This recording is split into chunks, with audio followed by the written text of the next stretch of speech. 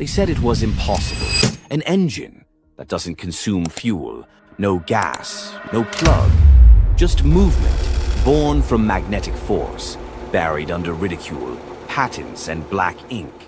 The schematics survived, whispered in forums, downloaded, deleted, forgotten, until now. This file is not public. It's not official. It's not safe. But it works. Designed using magnetic repulsion, capacitor routing, and a spark-triggered loop. It doesn't just run. It defies. The plans are real. They've been tested. But they're not meant for mass eyes. If you're watching this, you're already closer than most. Download Black Engine today, or check the description to enter the vault. Warning.